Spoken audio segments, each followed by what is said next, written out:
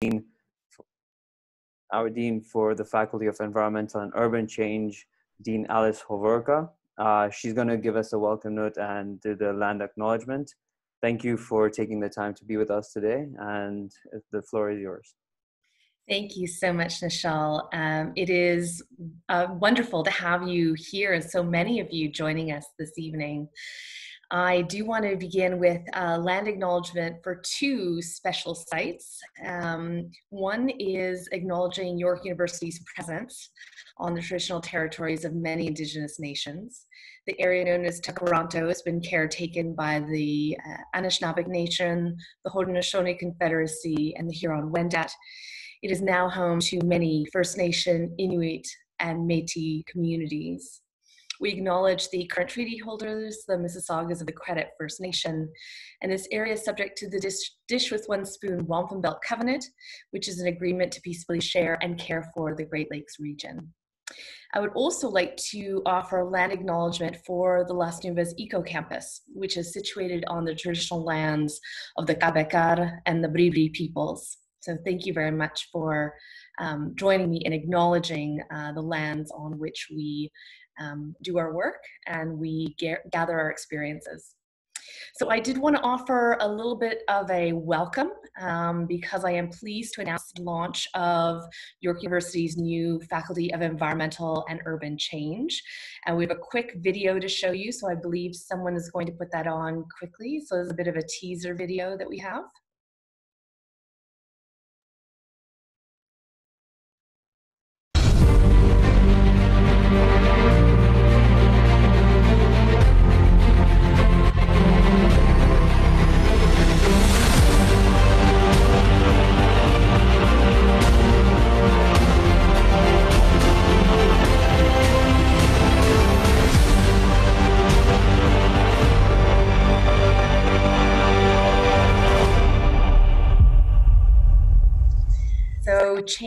Almost arrived. On September 1st, we will be launching the faculty. And this faculty has really been um, established as a call to action and we're really wanting to respond to the many pressing challenges facing people on the planet. And we're bringing together all of our faculty, students, and staff to really um, strive for a just and sustainable future. We're going to have new academic programs. We're going to continue to foster the belief that making positive change requires bold and diverse thinking, um, ambitious action, and community engagement. And we want to be a faculty that's inclusive and devoted to making the world a better place for everyone. And for many, many, many years, Las Nubes, as a project and now as an eco campus, has been the uh, a real gem in the Faculty of Environmental Studies.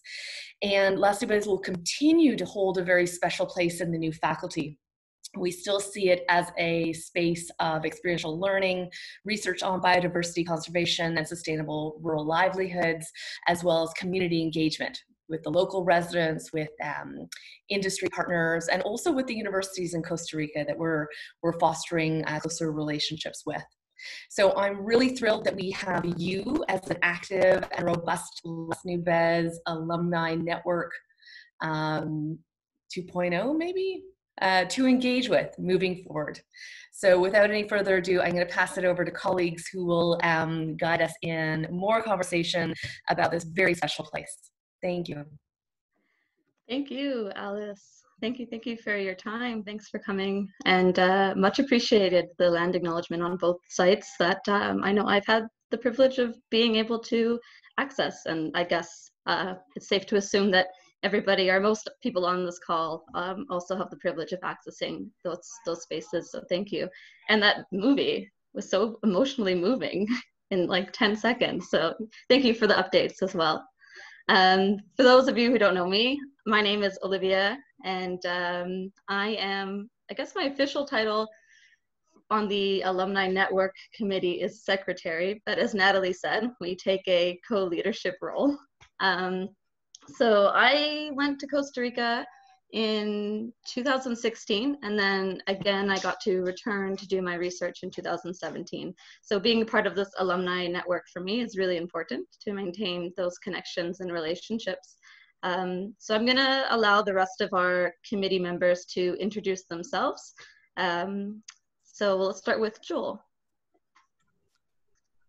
Hello, everyone. Uh, my name is Joel, and I guess my role in the community is um, more responsible with the media and communication stuff. So all the stuff you see in social media, I guess all the graphics.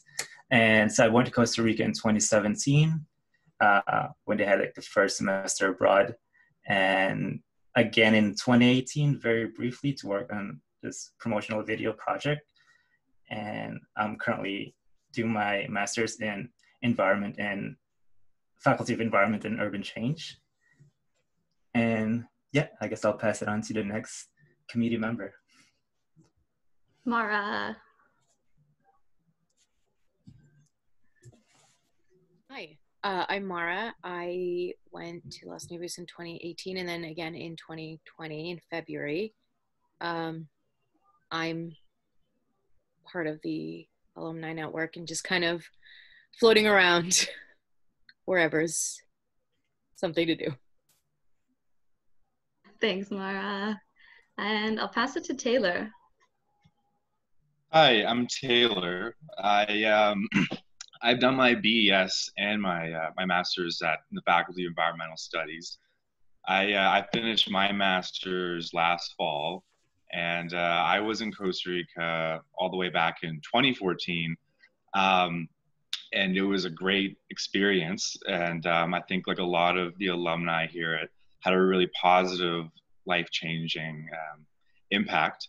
And so I'm sort of here collectively as part of the team to like keep the spirit of things going and see what we can do. And um, yeah, I'm really excited to have this event taking place and to jumpstart things. So uh, I'll pass it on now. Thanks, Taylor. Um, let's pass it to Prerna.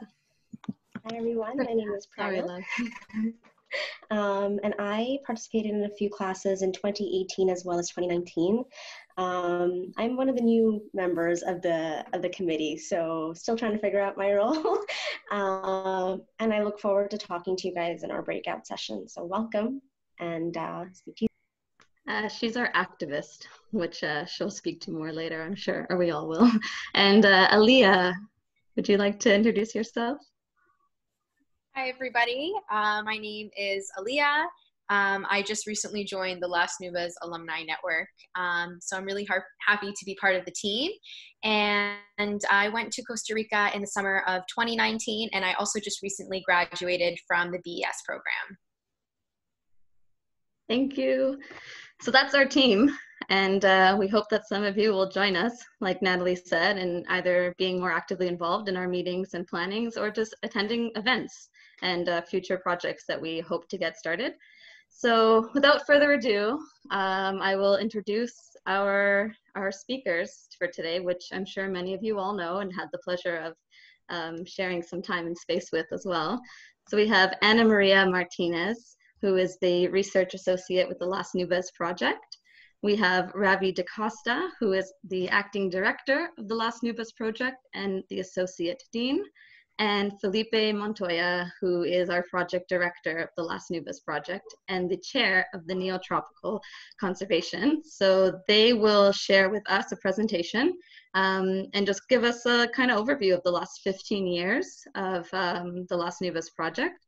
And if there are any questions, um, please post them to the chat.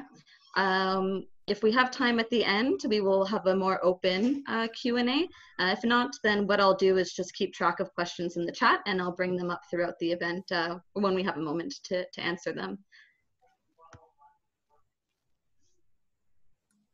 Okay, so, yeah, yeah I'll, I guess that I'll start. Um, hello, everyone. Uh, as many of you, well, yeah, I think I've met most of you already.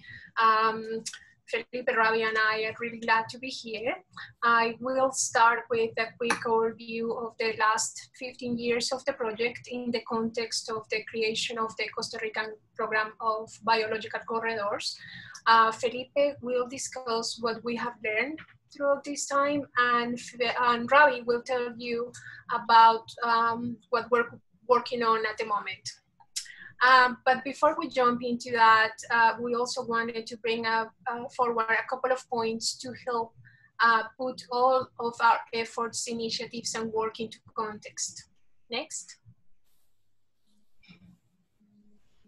Um, according to a recent study, uh, since um, 1980, Central America has lost over 40% of its forest cover at a rate of 1.2% per year. That is 4,600 square kilometers per year. Uh, to give you an idea of how big that is, it's like seven times the size of Toronto. And most of this forest cover has been lost due to uh, the creation of uh, pasture land, the expansion of cropland, and to a lesser extent, uh, to processes of urbanization. An important point here is that the rate of change between um, in the last decade has been lower than that of the previous decade. Next. So um, concerns around the species isolation in protected areas has led to multiple local, regional, and international initiatives, such as the Mesoamerican Biological Corridor. Um, this corridor was initially mapped on a route called the Paseo Pantera or Path of the Panther for the tawny mountain lion that ranges from Canada to Argentina. And this was a five-year project led by the Wildlife Conservation Society and the Caribbean Conservation Corporation with the goal to connect protected areas throughout Central America so species such as the Pantera or panther would be able to move easily by means of ecological corridors. This idea gained strength and so by the end of the 1990s, uh, the heads of states of Central America met in Panama and uh, as part of the Central American Alliance for Sustainable Development and agreed to the establishment of what we know as the Mesoamerican Biological Corridor. Um, this idea has lost strength in the last few years, but we still hope, and some, some countries have moved forward more than others, but we hope that we can um, recap some of that strength. Next. And so following these commitments in 2006, Costa Rica form, formally established the National Program for Biological Corridors with the goal to meet uh, its international obligations and by implementing a framework. And so all the biological corridors of Costa Rica um, are those uh, light green areas that you see. And they are around 33% of the national territory. So by 2016, there were officially 44 corridors established in Costa Rica dark um, green areas are the protected areas of Costa Rica, and so that's an addition 27% of, of the national territory. Next.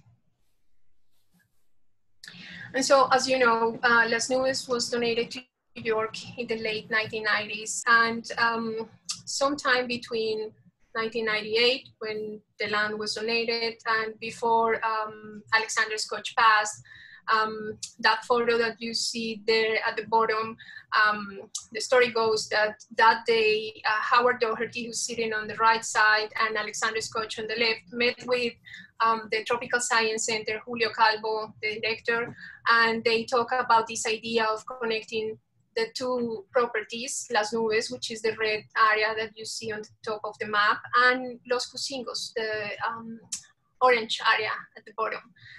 And so in 2005, Howard published a paper um, describing, amongst uh, other things, how York University and the Tropical Science Center had come together to create not only a corridor, but most importantly, how this process had effectively engaged local stakeholders in a joint effort for research, conservation, and sustainable development. Out of this, for instance, the Las Nubes Coffee became a reality where the local coffee farmers committed to the use of more, sun, uh, more sustainable practices shifting from sun to shade grown coffee. Um, according to Howard, uh, on that paper, most of the coffee farms at the time or at the in early 2000s were sun, um, sun grown coffee. Next. So after the officialization of the corridor and with the formation of um, the COAS, COAS is um, the acronym for the Alexander Skutch Biological Corridor in Spanish. And so we'll refer to COAS from now on. Um, so with the formation of the local council, the COAS local council, in which the university sits as a member, uh, a strategic plan for the corridor was developed with um, five priority areas. And one of these is research. So the York University uh, is assigned to several subcommittees, and one of these subcommittees is also research. And so Las Nubes, as a project, has tried to recruit um, students throughout the years, responding in great part to local concerns and, and issues that have been identified by the local council. And so we invite you to check these um, several papers that we have on the publications section of our website. Next.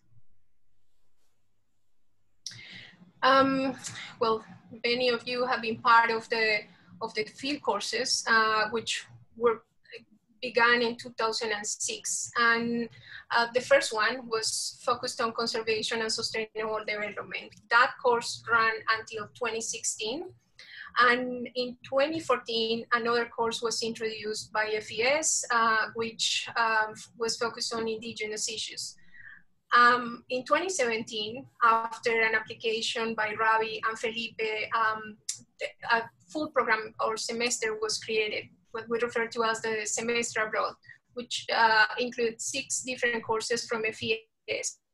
Now we have moved uh, or included courses from other faculties, but Ravi will tell you a little bit about that.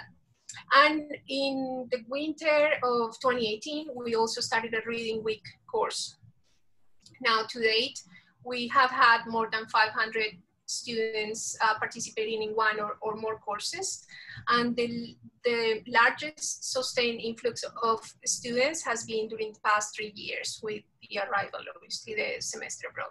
Next. So for some of you uh, who probably don't know about this, we had a brand of coffee um, which was a, an initiative that started in the early 2000s. And, and so this began, obviously, as I said, with the idea of building uh, the biological corridor and where we engaged with um, Coopeagri, which is a, a cooperative based in San Isidro. And so farmers who were producing sustainable shade-grown coffee had the opportunity to market this coffee through Timothy's, which was, was a Toronto-based roaster in Canada. So this partnership started in 2003 and was led by Howard Daugherty from York University and Roger Zuniga from Coopeagri. The coffee was mainly produced uh, in two farms in the corridor. One was Granotico and the other one was San Pedro. Those two farms were certified as sustainable, but uh, in addition to this, the coffee was also fair trade certified. And so between 2003 and 2010, um, Coopeagri sold a little under 190,000 kilograms of coffee to Timothy's. Um, despite uh, all the efforts, coffee production in COAS has not been immune to compounding and challenging lower circumstances, but um, we can talk about coffee at another time. Um, and uh, Ravi has also something to tell you about that. Uh, next. Um, and this has uh, this is one of the programs uh, or the projects that we're most proud about, Casita Azul. Uh, this is um, collaboration with the library at York. And we uh, decided to enter into an agreement with an ASADA. The ASADA is the local association for water in Santa Elena, something along those lines, um, to share their facilities and to run a local library and resource center with computer and internet access and a meeting room that the whole community can use. Next. Oh, one thing that I forgot to mention about that is uh, a couple of um, our students created a um, program that Casita Azul still uh, runs uh, for um, it's an early childhood education program. So we have had training um, initiatives that have been run by different people. And the homestays is, um, is one of the community engagement program uh, parts of the program that we have seen grown significantly in the last few years. And so we think that this has to do with the expanded presence of Canadian students in the area. And so a, a part of a new policy established in the mid 1020s, um, 2010s, sorry, um, students are required to stay with local families while they take or for the length of the courses. And so this small change has had a major impact, not only by contributing to the local economy, but also because it opened a window of opportunity for local families into a new venture of rural community tourism, which was um, something that uh, people in the corridor didn't do before. Um, next. And so um, in the early 2010s, after noticing that the existence of a biological corridor wasn't really well or internalized by the majority of the residents in the communities, uh, Felipe and the students from the 2013 summer field course decided to organize a festival to bring the community and the students together. And they call it, um, and also to acknowledge Alexander's Skutch in the area and his contributions. And so um, since then, it has grown exponentially. And a few years later, the community themselves started, started to work or to coordinate and organize the entire festival. And last year, we had over 1,500 participants people coming in and different activities. And so the name changed to Expo COAS to be more, uh, I guess, wide uh, and inclusive and anyway, so uh, next. Oh, this is you, Felipe. Hey, thank you, Ana Maria. Uh, yeah, I'm not muted. Uh, great to be with all you guys and see you, even though it's this virtual modality. Um, uh, so Ana Maria mentioned um, a, a, document that Howard Daugherty wrote in, in 2005 uh, talking the corridor. And so uh, the last 15 years, Ana Maria and I, we've been, we've, we were looking at how to respond to this article uh, written in 2005 and see what we've learned from uh, from our experience with the Las Nubes project during these 15 years. Um, and I just have to say that in, in that article, uh, there was uh, a projection, Howard Daugherty uh, projected different possible avenues of, of, of creating connectivity in the corridor and improving livelihoods. Um, so for example, he suggested the, the need to engage in, in sustainable agricultural practices, in, in environmental education, in buying land uh, in the corridor for, for conservation, and uh, having community participation.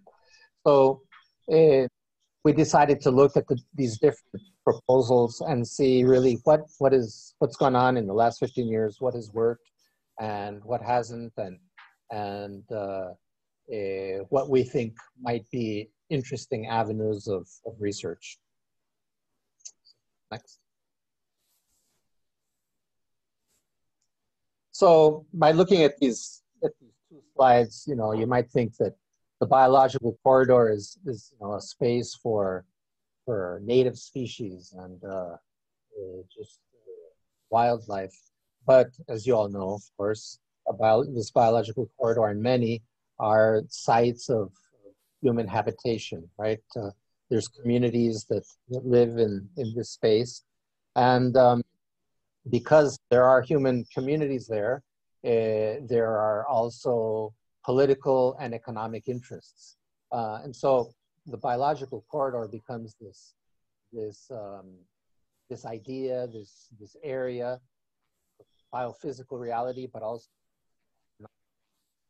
and um, one of the of the big uh, uh, struggles that have that have occurred there in, since I've since I've been the, the director starting in, in 2012 was a threat of how to manage this river and and and how to make use of it and different visions of what the the river means. Um, so there were plans for hydroelectric projects, as Ana Maria mentioned, I think before.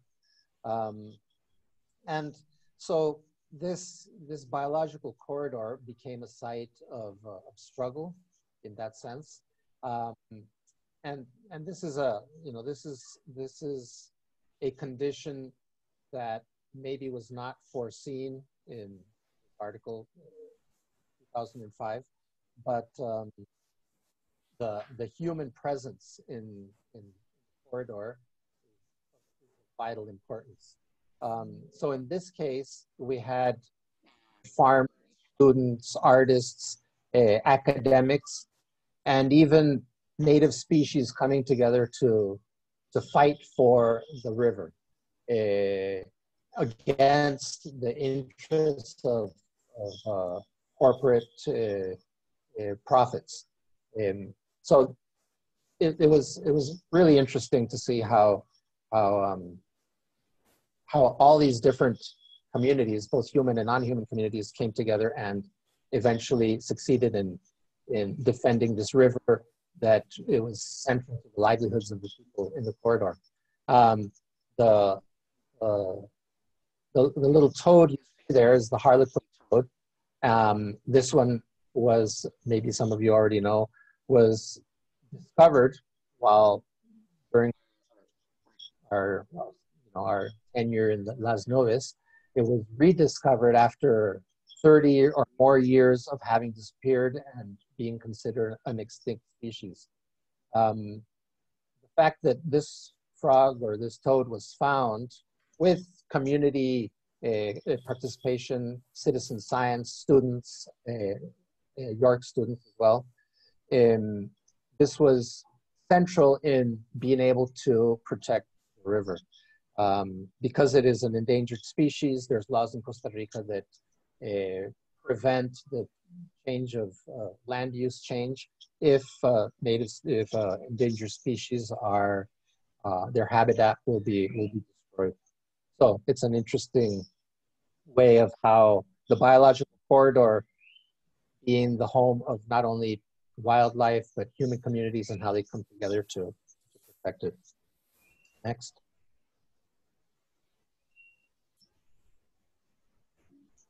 Uh, one of the one of the recommendations uh, in 2005 to protect uh, the, the, the corridor and create connectivity was to buy land uh, for for conservation.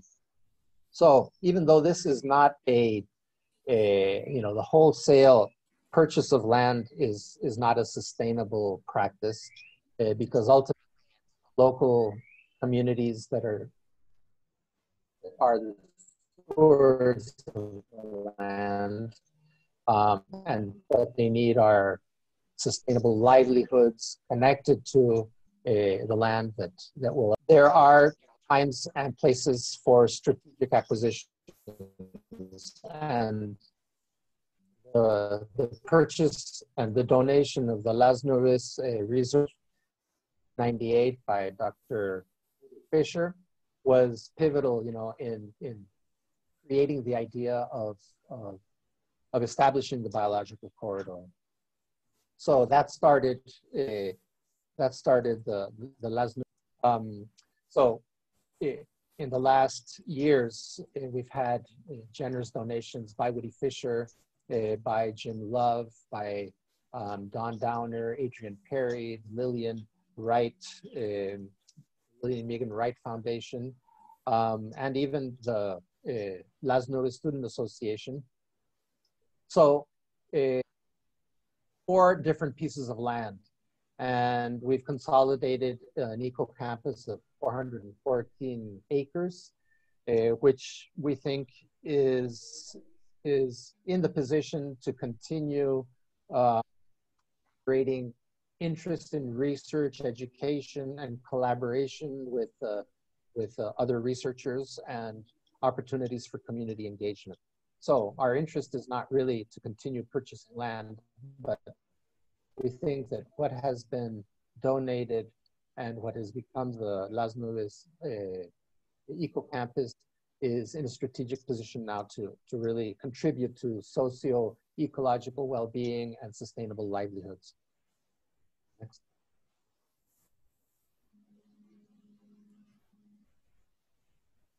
Next slide, please. Yeah, so um, the the Las Nubes project, back one. Previous slide.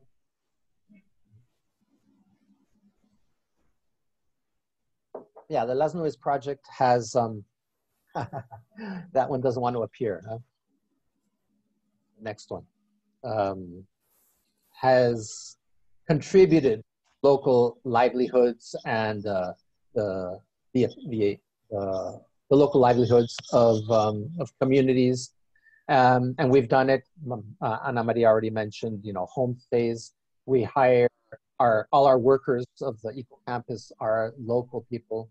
We hired uh, local professionals to construct our, our, um, our center. Um, the, the Las Nubes um, uh, has uh, been involved in, in, capacity training for, for the local communities.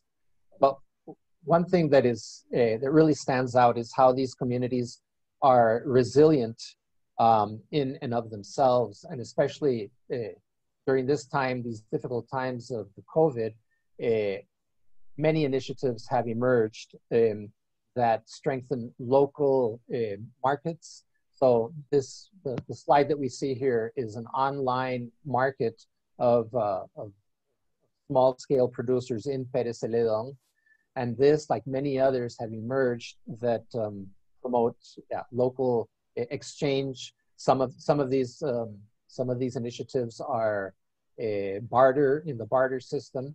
So it's it's been really interesting how they have uh, found ways to to cope with these difficult times in sustainable ways, um, always interested in, in staying in the land, in the biological corridor as, um, as inhabitants there and um, this connection with, uh, with the land. Next one. So just um, to finish this section, you know, we, we ask ourselves in this article that we're writing, Ana Maria and I, is you know, our biological corridor is a panacea or is this biological corridor a model? Um, and we think that it, uh, it is one, one way of, of uh, promoting sustainable livelihoods in, in a framework where, where um, the coexistence with other um, species is, is part of the, of, of the equation. Um, so the thing about biological corridors is, is, that it allows us to think in different ways. Um, and our presence there uh, as, as a university with uh, initiatives of education, um, research, and community engagement, we think that uh, there are many opportunities to continue making this biological corridor uh, an interesting model, a model that can possibly uh, provide lessons to other communities uh, around the world. So I'll pass it on to Ravi now.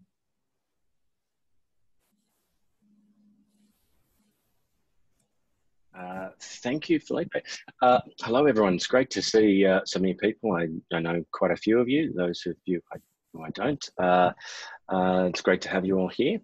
Um, so I'm going to talk about where we are now and well, obviously, we're on Zoom. Where else would we be? Um, before the pandemic, uh, just before the pandemic, it feels like a very long time ago. Um, Alice, Felipe, Anna, uh, and and I took the president of York, Rhonda Lenton, down to um, Las Nubes for the first time. And you see that uh, picture of her um, with Gretel and Felipe and Alice is there with Luis Angel and Oscar uh, and Deandra. Um, uh, so, and we had a really, that was, was it feels years ago now, but mid-February somewhere like that. And uh, we had a really, really excellent trip um, and uh, had a lot of meetings for the president uh, um, that I'm going to talk about um, because we they, have led to things that uh, are ongoing. I mean, of course, just a few weeks after that, the world sort of started to crumble. Um, uh, you know, things have stabilized a little bit, uh, but it sort of took us. Yeah, we we we finished that trip with a great deal of momentum and energy, and and uh, just had to kind of pause on some things. Um, but yeah, so that was a, a really important um, moment because um, you know, when when you ha- have your you know uh, president come down, it's uh, and as those of you who know who've been down uh, uh to the place, once you get there, you see um, why uh, people like Felipe and Anna, Anna, and I always go on about uh, about Nubes. It's it is an extraordinary place, and we have an extraordinary facility as well, as well as incredible relationships um, with with the community and with businesses um, um, and with conservation groups uh, and, and, many indigenous uh, communities and so on. So, um, if we go to the next slide, I'll talk a little bit about um, some of the things uh, that we've been doing. So, when we developed the semester abroad, we the idea was to move from a single field course to, to many courses. Uh, you, knew the, the, the eco campus was going to be built, so um, uh, well, we thought better use it, and uh, so we started developing. That, that was the the genesis of that um, uh, program and, and uh, um, project, and and right from the outset, we've had other faculties and other you know programs um, participate. Um, uh, for right from the start, there was an, a course from education, and also, you know, uh, uh, from you know the start of uh, the last year's field course that Howard taught, there's always been lots of students from um, programs other than the BES and MES, um, um, and and so kind of building on some of that that uh, history and legacy, uh, we we began a process. Um, uh, which uh, really Anna uh, has has um, in, created a, a really an excellent framework for helping people in other faculties and indeed our own colleagues as well think about what their course objectives are and develop a course that's uh, that will fit into the Las Nubes context. So, taking learning objectives and thinking, well, what are the the sort of experiential education opportunities, who are the partners that we know, um, what are the places and sites that we can visit, and so on. And so we've had courses um, uh, from education and uh, and health uh, running down there in the last few years, uh, and in recent years, um, Anna and I have uh, had many conversations with colleagues, um, profs from right around uh, York. I don't think there's a single faculty we haven't met someone from Anna. Um, and uh, we're very keen to keep developing um, course offerings from different uh, from units. And and health is uh, has probably been the most uh, involved so far. Uh, they've got a global health program that's been really quite active and and in fact several people from global health came down with us uh, or were down at the same time as, as us uh, in February. Uh, so over the next little while, we'll see um, uh, more courses develop. Uh, and uh, even though we're now you know, just stuck on Zoom, uh, we are we're you know meeting with people. I met with someone from engineering recently um, with Anna to talk about a course idea. Uh, so that's the vision. We'd like, you know, many, all like all the faculties to participate uh, and use uh, our, the Las Nubes Eco Campus. Um, and students from many programs. And, those of you who've taken courses know that you know you would have met uh, students from other programs. So you know, so uh, I realise I'm uh, going on a bit long. So uh, next slide. So um, research projects. This is a photo actually uh, of a workshop that, that Felipe did. I think it must have been just before the pandemic too. It was March, early March, I think. Um, uh, bringing a lot of uh, Costa Rican-based researchers together at, at, at Eco Campus for a, a kind of a, a, scoping study. Maybe Felipe talk, can talk more about that in the uh, in you know in the breakout sessions. Uh, but um, identifying a lot of different kinds of research interest. Um, one of the things uh, we had many really good meetings when we were down there in February. One especially good meeting was with uh, um, a group of, of researchers uh, from the University of Costa Rica, who we've had a, a, a partnership with for a very long time. Um, and uh, it, uh, from that, we have been developing a, um, an idea around a collaboration between York researchers and, and University of Costa Rica researchers. We've done, you know, smaller scale projects before, but we're going to try and build something uh, a bit bigger. Uh, which reminds me, um, uh, the workshop is actually tomorrow morning finally, uh, and reminds me that I haven't done my bit for it. So, um, uh, but that's happening tomorrow, and it's got, uh, I think we've got about seven or eight researchers from Costa Rica, from the University of Costa Rica. A couple are based in, in different countries right now, um, and then there are ooh, at least five or six York-based researchers from here, Felipe, obviously, and myself, and uh, James Orbinski from Global Health, some, some folks from Disaster and Emergency Management um, are going to join us as well. So that's a, a, a project um, and a meeting we're looking forward to tomorrow to uh, try and uh, develop something. The goals would be to um, uh, run workshops and activities using the Eco Campus and to really to, to create opportunities for graduate student research and to, to deepen the partnership we have with University of Costa Rica. Uh, so the next slide. Okay. Um, so, um, Anna, do you want to talk about this? This is the project you're doing with um, with Julie, isn't it? Yeah, Anna, go ahead and explain yeah. a little bit about this. Go, Felipe. Hmm? Tú, dale.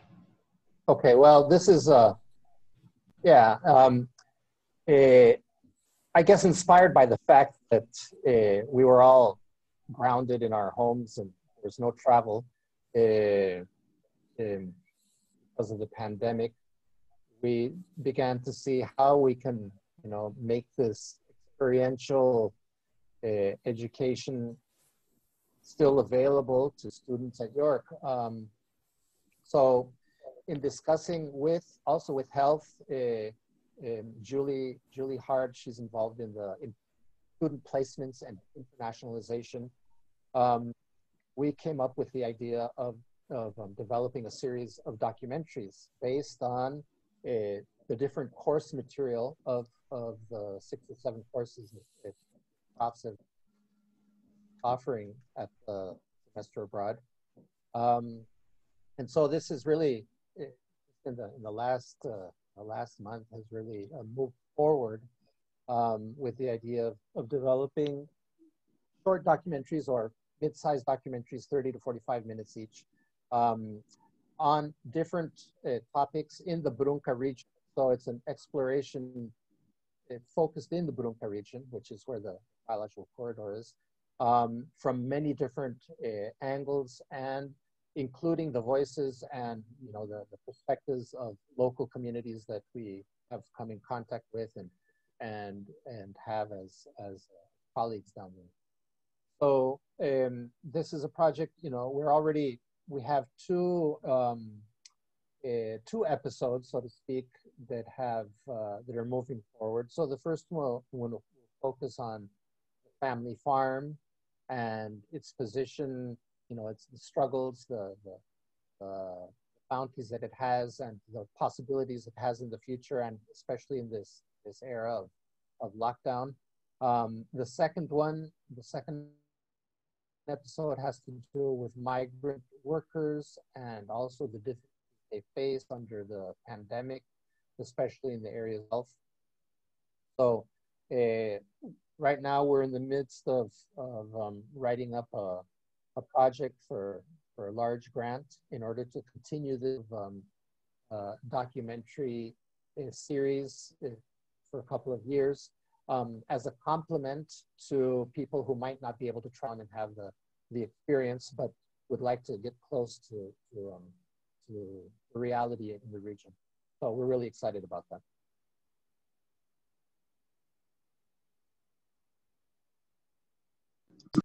So, um, okay, so I just, uh, I don't know if, uh, um, uh, uh, how well you can see the text, but I wanted to show you this. Um, uh, something Joel worked on, and it's uh, it's it's really cool. So, I mean, one of the other things I do is I'm currently the chair of the President Sustainability Council at York, and um, uh, recently, well, actually, we have a new academic plan at, at York, um, and it includes the Sustainable Development Goals. And recently, the provost um, asked me to um, uh, you know, uh, uh, help her develop some things um, in relation to that. And this is one thing that occurred to me about the ways that we think about uh, what our work does in relation to the Sustainable Development Goals. Um, so Joel did this and and thought through the um, uh, with Anna thought through the the the ways that uh, the Las Nubes program, in, in different respects, contributes to uh, the Sustainable Development Goals. Um, um, it's a really nice file, actually. So maybe um, we can share it with um, with everybody. I'll put that into, or Joanna, if you could put that file into the, general chat, that would be great. Um, and then, uh, yeah, I need to wrap up. Um, uh, maybe the last slide.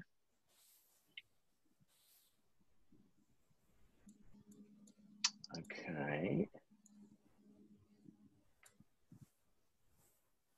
Okay, great. Um, so uh, last thing, um, one of the other great meetings we had, uh, we were down there with the president um, uh, in February was with Coopeagri. And um, as Anna told you, uh, there has been uh, Cafe Las Nubes was, uh, was something that was alive and well when I first came to York in 2007.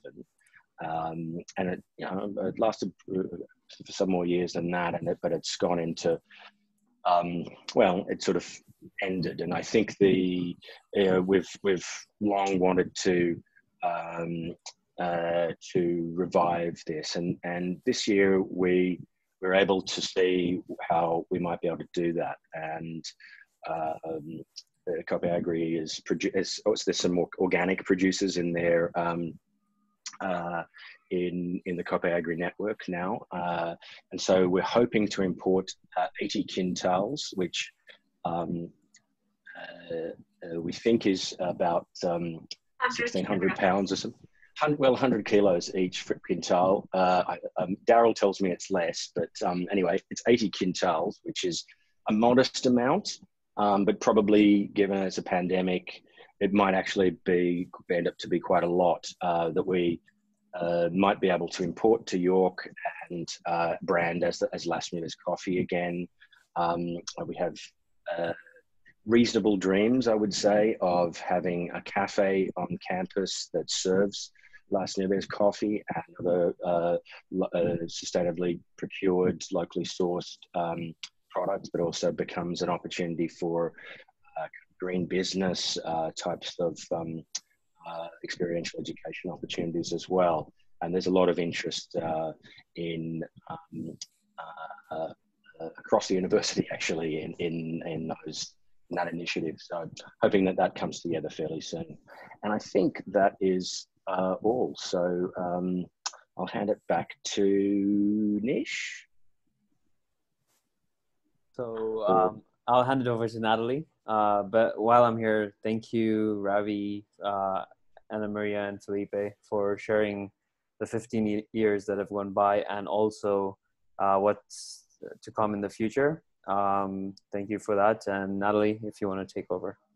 Sure. Thanks, Michelle. Yes, thank you so much. So we were originally planning to have some breakout sessions so that we could, you know, create a smaller group vibe because we so wanted this relaunch to happen, you know, in person so that we could have some kind of one-on-one connections with all of you.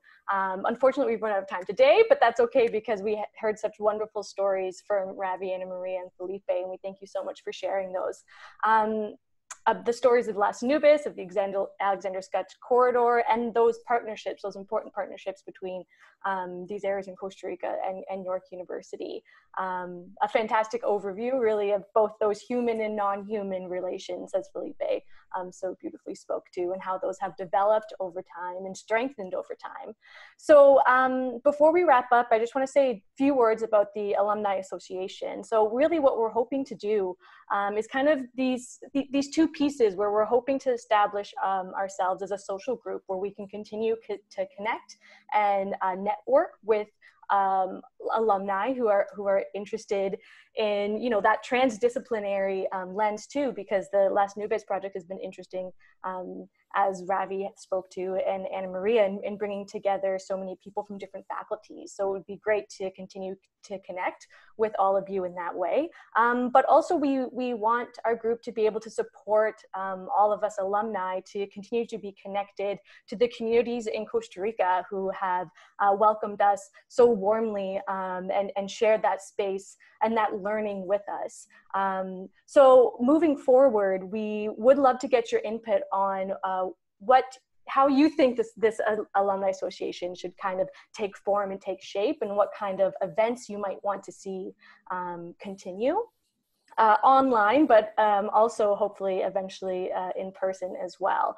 So we do have some um, upcoming uh, talks that we will have in one in the fall we're aiming for and one in the winter that will look like this and hopefully we'll have more time in those to meet in smaller groups.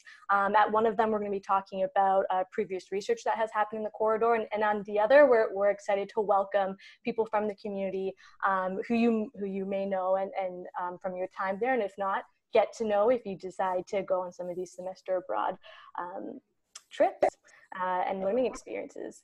Um, before I, oh great, the, the email's there. So uh, Nishal's gonna share the email in the chat, but we can also see it um, presented here.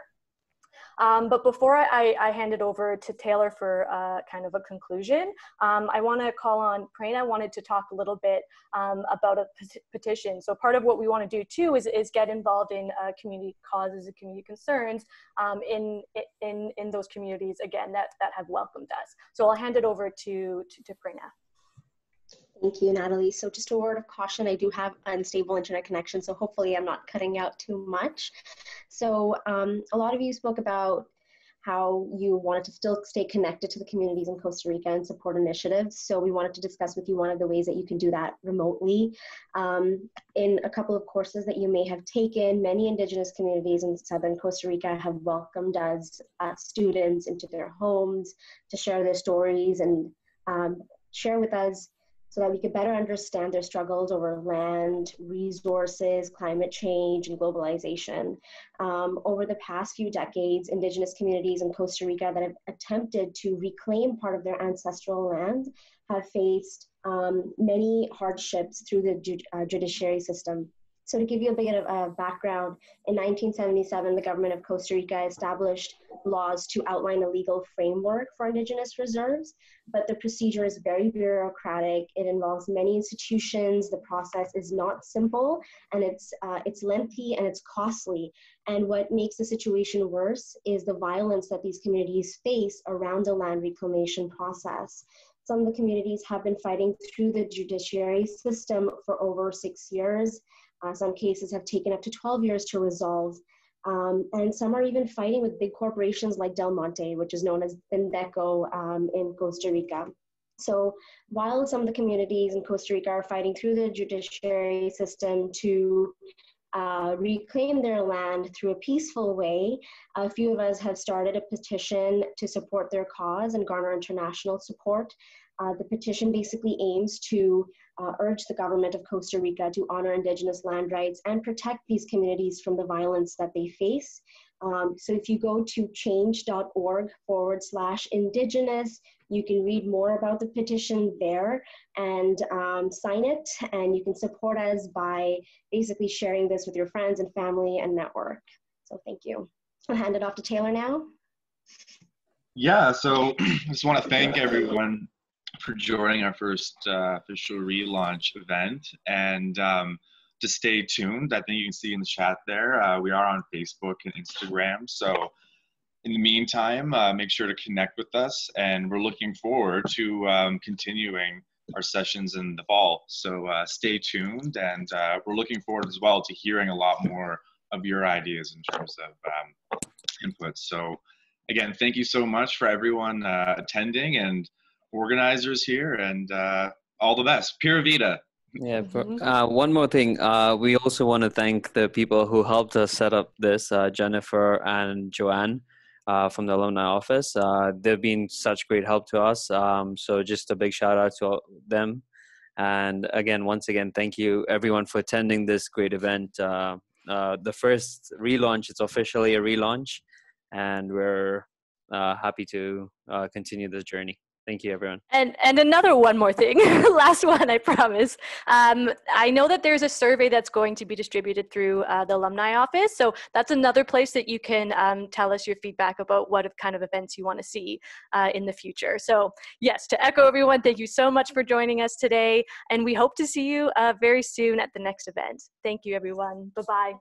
thank you, thank you thank for you. coming. I hope you yeah. all enjoyed.